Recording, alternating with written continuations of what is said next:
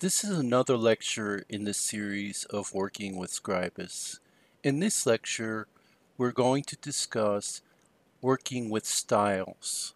If you go to the edit menu and then click on styles, or as you can see, you can also use F3, the style manager will open and you'll note that we have three different kinds of styles in Scribus. We have paragraph styles, we have character styles, and we have line styles. We're going to discuss line styles separately when we talk about working with lines. So for now, we're just going to focus on paragraph styles and character styles both of which are connected to text. So they would be used within a text frame. Now you might be asking why would I use styles? If you're familiar with Microsoft Word, then you already know that Microsoft Word has the same concept of styles. We might, in particular, want to use styles if we were working on a document where we have a say headings and a body and we want all of our headings to be in one style and the body or text to be in a different style. We could set up a style sh sheet so that that work is automatically done for us. Now unlike Microsoft Word Microsoft Word has styles that are predefined styles Whereas what you saw in the previous lecture when I was talking about frames, the style manager in Scribus only has one default style. So what we're going to do in this lecture is we're going to create a couple of different styles so that you can see how that function operates. Okay, let's imagine that we're working on a newsletter and we have a uh, we want to create a style for headings and we want to create a separate style for for the body of the text. So we click on paragraph styles and you can see as I said before we have only one style here which is the default. So we want to create a new one. So we click on new new paragraph style and you'll see it gives it an automatic name new style. Now you notice that the property box opened and if you look you see that there are some settings that are already determined with regard to a spacing and tabulation and information like that but there's nothing that is talking about the actual font. Now underneath the line spacing, you'll notice two boxes, two spin boxes here that are used to determine how much white space comes before a paragraph, indicated by this up arrow, or after a paragraph it, with this down arrow. This, uh, increasing the point here, will cause more white space to appear before a paragraph or between the paragraph and the following paragraph. Now, this is very similar to what we know in Microsoft Word as the before and after spacing. And then under the tabulator and indentation information, we see here spin boxes that control the first line indent, the left indent, and the right indent. Now another feature you can see here are drop caps. Drop caps are large capital letters that you may have seen in magazines used sometimes that span two lines or more and begin the sentence with the a large capital letter. So here if you were to click on drop caps, the default is two lines but you can increase it to more than that. And the distance from text is the amount of space between the capital letter and the first word on the line, on line one. And you can increase that to be greater than zero if you want as well. So to show you how this works, let's create a style in which we have two points above and two points below paragraph. And we also have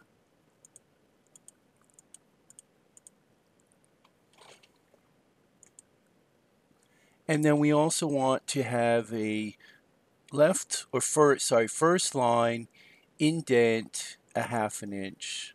So let's do manually 0.5. All right, and we also want to use drop caps for two lines, and let's put one half an inch. No, let's do one third of an inch before between the drop cap and the uh, first word. All right, we can change the name of this to paragraph indent with drop cap. And then I hit enter and we have a style. Paragraph indent with drop cap. Oops, I forgot to hit the apply button. So hit the apply button and then your style will be saved. Okay, now let's see how applying the style works. I have here some text that I've imported and I want to apply my style to it. So I click on the frame and or I could highlight the text too, but let's just click on the frame and then we will um, go to properties and we click on text. And then you see style settings. We click on style settings. And then we select the style we want which is indent paragraph with drop caps. And you can then see that the style has been applied to the text that we have here. Now what happens if I don't like this? I think there's too much space here. Um, so I want to change that well we can go back to edit styles and this edit button here. We can click on the style we want to edit click edit. Now let's say I want to change this to only be um, one tenth of an inch. And if you remember from our uh, working with frames lecture I can in in the spin wheel I can click on the shift button and spin the wheel and the tenth digits will change. So I've reduced it to 1. And that's the only other change I want to make now. So I can go down and hit apply. And the nice thing you'll see is that the style automatically updates. So everywhere I was using this style would, in this document, would automatically update.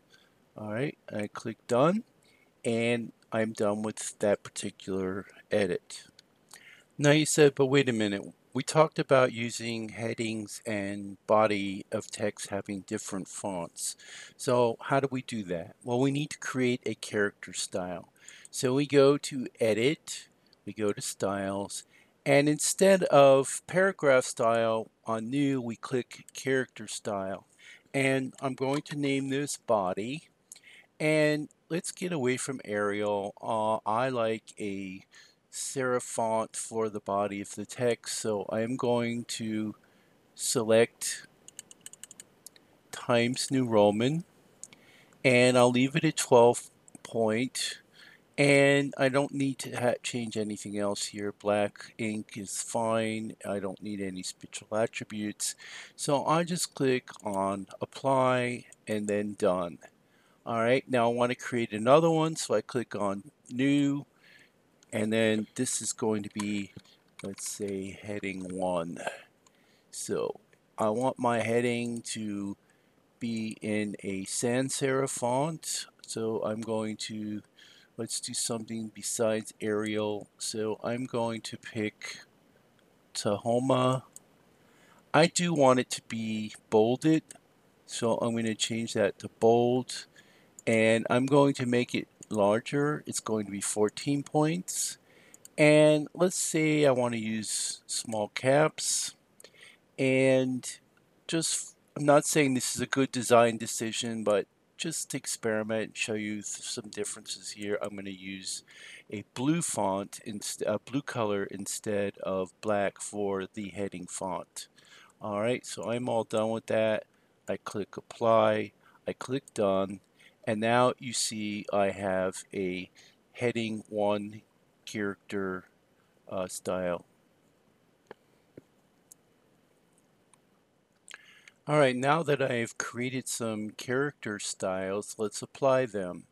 So I click on the frame that I want to have the character style apply to, and then I right click, sorry, click, right click to properties, then the properties window is open, I click on text, then I click on style settings. In my case, it's already open. So for the character style, I want to click on body. And then you see now my text is changed based on what I specified for the characters. This is now in Times Roman font size 12. All right, now let's say talk about the heading. One of the best ways I think to do headings in a in Scribus is to create separate frames for the headings. So what we want to do is go back, we want to insert text frame, and let's just put a heading up here at the top. Alright, this is one of the cases where you might want to use direct editing, so I just double click and I type in the text I want. The various types of audiences in business communication. Alright, now I just, sorry, I click on the frame to highlight it. I go to text and I choose a character style. In this case, I'm going to choose heading 1 and then you see I now get the style that we built for headings in heading ones. Notice that I do not have any paragraph style here. There's no style.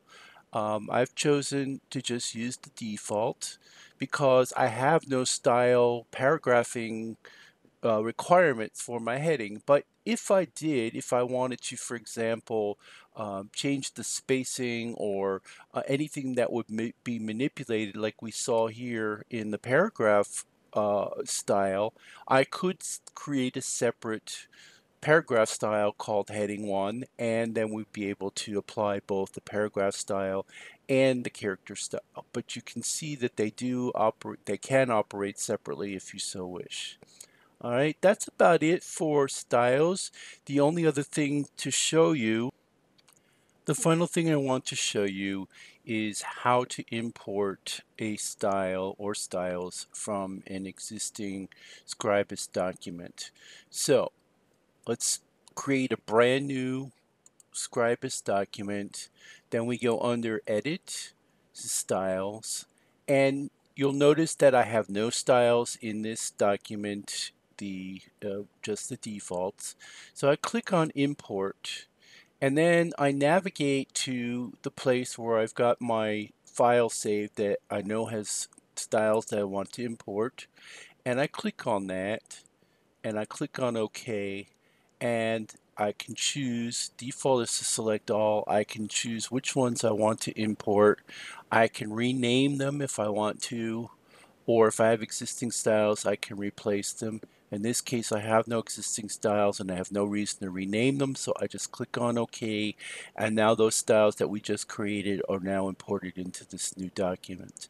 So one of the things that you might want to consider when you're working with styles is to create a master uh, a master copy, which we're going to talk about next week, in which you define all of your styles and you just use that to uh, create a document or you create a document that has specific styles in it and then you just always import from that document. So those are one ways of not having to rebuild your style for every single Scribus document. And that wraps up our discussion of styles.